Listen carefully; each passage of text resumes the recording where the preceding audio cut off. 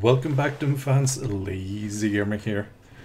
From now on we are going to cover some new tools, some of which actually require shortcuts to work with them, so we are going to add them now.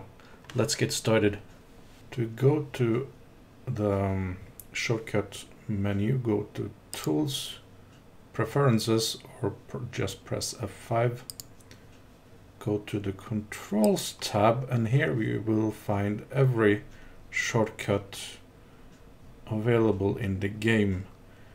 Now we will need to add a few so uh, so search slope and select I have added shortcuts already these will not have them so add whatever shortcut you like. Uh, I have chosen this one. Arc between slope handles and toggle visual slope picker. These two will need shortcuts.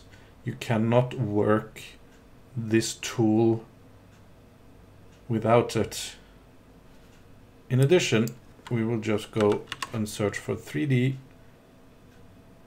and select 3 3D floor editing mode and add a shortcut to that too. This is not strictly necessary, but I will work with this tool in some videos ahead. So we might as well cover it now. If you did not add a shortcut to stair builder, you can also do this now you don't need to. It's just for convenience. Press OK and we have now added the shortcuts we need. So I will see you in the next tutorial video. In the meantime this has been your host the lazy gamer logging off. Bye guys